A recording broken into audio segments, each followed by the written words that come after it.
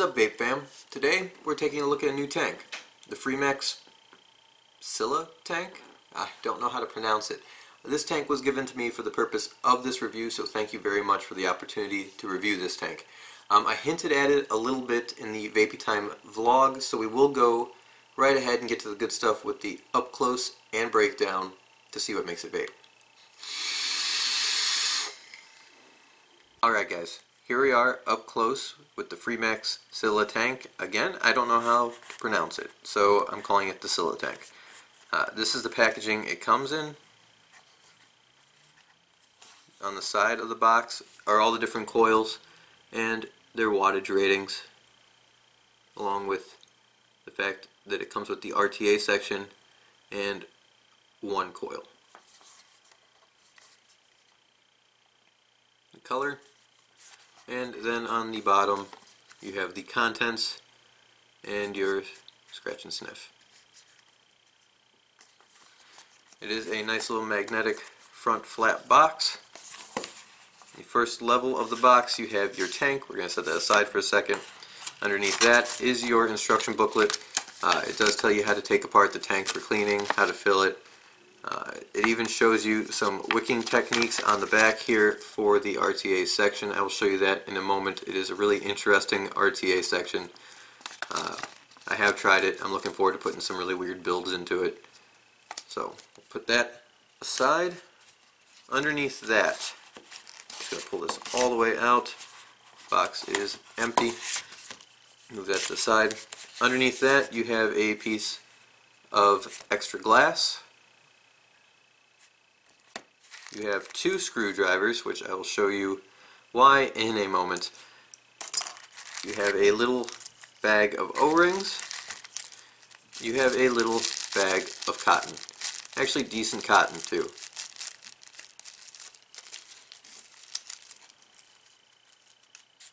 Over on this side, you have your RTA section, and underneath it you have some replacement posts and replacement coils along with the O-rings needed for the RTA. We'll get to the RTA at the end. For now, we will go ahead and take a look at the tank.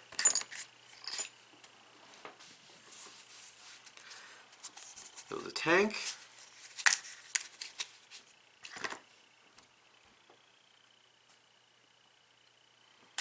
starting at the top you have your drip tip comes right out. Then you have your top cap top fill uh, to take the top or to take the top cap out to fill it just push down give a little quarter turn counterclockwise and pull up. That's it. You have this nice deep top cap in order to pour juice down into or to use your glass dropper in or a unicorn bottle the top cap itself, as you can see, has these two little pieces that protrude to fit into the grooves here in the top cap. Uh, it also has two little gaskets to make sure that the uh, fill ports are sealed when it is closed and in place. Put that aside for a second. Next we will take our base out. The AFC ring you can hear is nice and clicky. Really really nice. I really like a clicky AFC ring. Just unscrew the base, coil and base. We'll set that down for one second. Uh, this part, the top cap and the bottom, do come apart. Just unscrew them like so. Here's the top cap. That way you can replace your glass and that leaves you with the little cage for the coil. Set these aside. The coil obviously just screws right into the base. This is a pretty hefty, well-built base. Everything on this fits together really well. I mean, it's really, really smooth. The threads, really nice. That AFC ring, really, really nice. It does not protrude enough on the bottom that I would run it on a hybrid. Barely protrudes at all. Have some nice engravings there on the side of the base as well. So let's take a look at this coil. This is the ceramic coil here. And as you can see, it has tiny, tiny little juice holes. I was astonished that this actually wicked up and that performed under high wattage. Uh, it does use wire. You can see the wire there. And the wire goes in and heats up this center part, which is actually the ceramic. Now, on the very outside, if I can get the light to shine right, uh, it has this tiny piece of cotton that runs around the outside of the coil. Just one thin layer of cotton and everything else inside there is the ceramic. Honestly, it's been a very, very good coil. It's performed really well. I was really shocked by it. It does say ceramic here on the side as well as have the wattage range listed directly on the coil itself. We also have the Clapton coil. Now the Clapton coil has normal side, normal size juice holes. Uh, it is Clapton down inside. This has a lot of cotton in it. Let me pull this wire out real quick. Give me one second. Alright, so here you have it pulled out all the cotton. There's still cotton in here. There's a lot of cotton in this coil. I'm going to set it aside for a second. We'll take a look at the wire. Pull this cotton off of there. As you can see, there's a fairly good section of it that is Claptoned.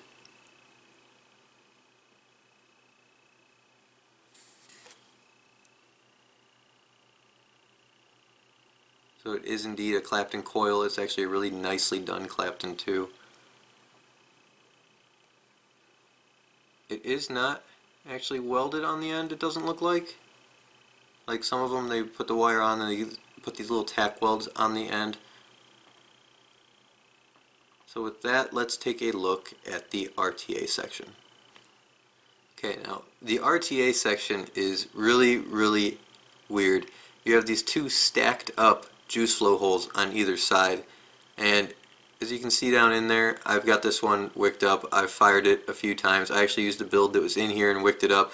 I pulled the cotton through the coils cut it and then used a screwdriver from the outside or put the cap back on used a screwdriver from the outside to push the cotton towards the juice holes to block them off. It's worked very very well. If we pull this cap off it just pulls straight off. You'll see a giant mess of cotton. Let me pull some of that out so you can get a better look at this. Alright, now as you can see, this comes with two stacked coils in it. I'm going to go ahead and take these out. There's two Phillips head screws on the top that I somehow got really, really tight. There we go. And there we go. Just take the screws all the way out and make life easy.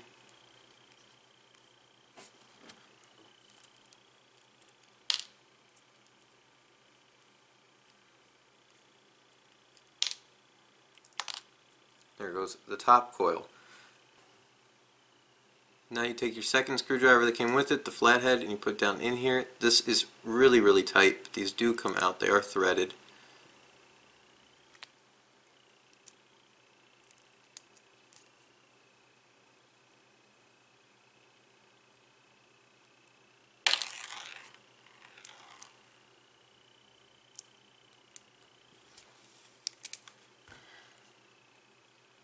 And that will release your second coil. So these little extension terminals are actually a threaded screw, as you can see. So you will use the flathead on these to hold down your first coil, and you will use the Phillips head on the top to put the screw in to hold down your second coil. You can see the airflow comes right up through the bottom, just like so, through here. And I'm looking forward to putting some really interesting builds in this thing. So with that, we'll put the tank back together, juice it up, and we'll go from there. Alright, so putting this mess back together into a tank is really easy. Screw your coil into your base like so. The glass goes back over this cage. The top cap screws back onto the top of the chimney.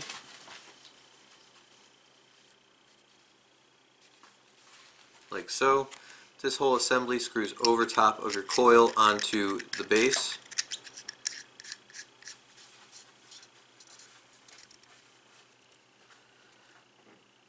And then you can fill it up. Now obviously if you're using a new coil you want to prime the coil. This one is the same one I just pulled out of there. And I am going to be filling it up with new drips on the block, steep by steep. It is like an orange sucker and it has been awesome. So then just put it there, fill her up.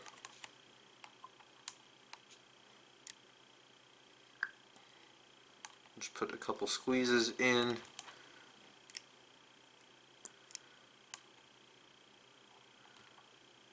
Like so.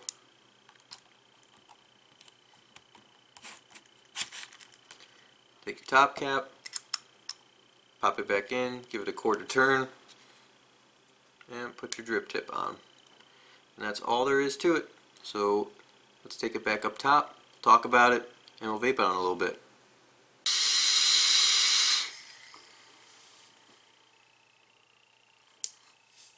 Alright guys, that was the up close and breakdown with the Freemax Scylla tank.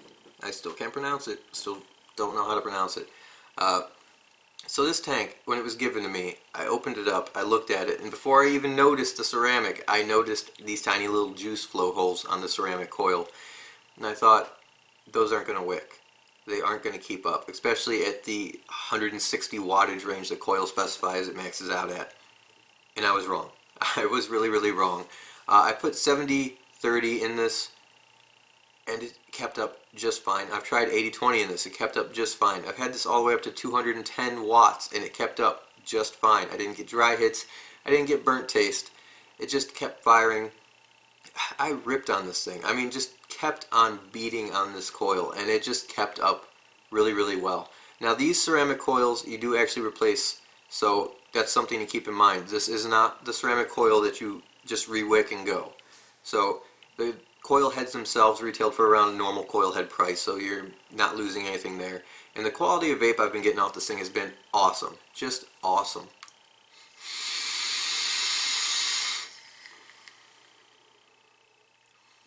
It's at 150 watts. No dry hits. Good flavor. Good vapor production. It's just, I've really been enjoying this tank. The top fill method, where you just push down, give a little quarter turn, pop the cap, squeeze your juice in, pour your juice in. I mean, it's deep recess, so you can literally just pour juice down in there. I've tried it. It works. Uh, it is a little bit tall. I think it's a more appropriate height when you take the drip tip off, but you know, that's just cosmetics. That's personal opinion. It is really well machined. Everything fits. It's nice clicky airflow ring, which I really, really enjoy. Uh, the airflow is a little bit tighter than you are going to expect, judging by these giant Cyclops airflow slots, but it's still a decent vape airflow-wise. Um, it's not too tight. It is a little tight.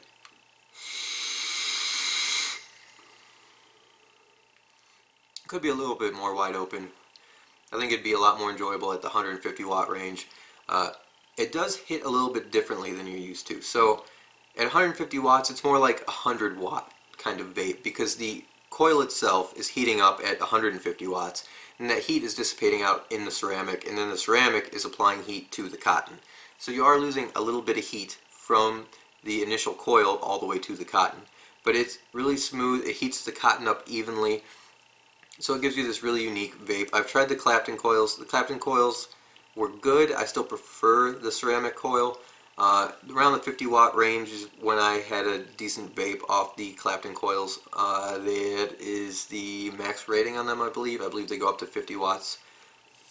Now, this tank I've seen on Vapor DNA. I could not find the price listed on Freemax's site, so I apologize. uh, if it is on there and I missed it, so I don't know the actual retail price. I saw these on Vapor DNA for $30. I'm guessing the retail price is going to be somewhere around 37 to $40. You can correct me if I'm wrong. I'm estimating that one. Uh, so you can find them on Vapor DNA, 30 bucks. Probably a little cheaper somewhere online, uh, but the retail's normally a bit higher than them. Now, we also have five of these to give away for our 500 subscriber giveaway for our monthly giveaway. So, so this time we are going to do it a little bit different. We're going to extend it out because I want wanted to thank you guys appropriately and make sure you all have a chance to enter into the giveaway. So this giveaway is going to run all the way until the end of the month. The giveaway video will go up on the 31st of March. Um, so we have five of these and we're going to hashtag Scylla. S-C-Y-L-L-A. I think it's pronounced Scylla, but it's hashtag S-C-Y-L-L-A. And that will enter you into the giveaway. So go ahead and put that down in the, the comments section below and you will be entered for a chance to win one of these tanks. You must be 18 and over. You must be 18 and over. And you must be a subscriber because this is a big thank you for my subscribers. So uh, with that in mind, I hope you guys found this video helpful. Um, I hope you know you enjoyed the breakdown. I want to thank you guys again for your subscriptions, for your likes, for your comments. Uh, like, subscribe, it helps me out. If you have any questions, anything I didn't address, you can leave that in the comments below too. Uh, just remember to put a hashtag Scylla in there to get entered into the giveaway. Uh, hope to see you guys again soon. Till then, keep on vaping.